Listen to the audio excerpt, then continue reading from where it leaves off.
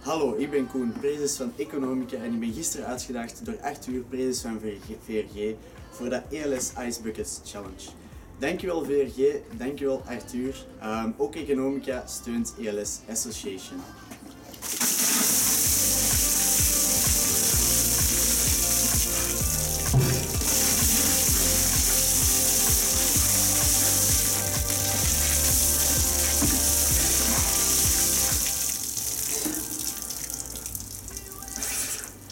Economica bestaat volgend jaar 85 jaar en dat gaan we vieren met een geweldig lustrumjaar en een lustrumweek vol zotte activiteiten. Daarom daag ik graag eerst alle economisten uit. Als jullie erin slagen om binnen de drie dagen tijd 85 keer de ELS Ice Bucket Challenge te doen en te filmen, door te sturen via Facebook, Twitter of mail, dan sturen wij extra geld naar de ELS Association.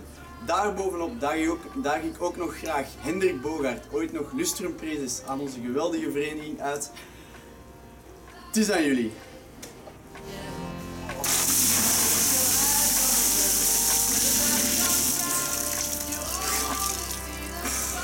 Stel me niet teleur.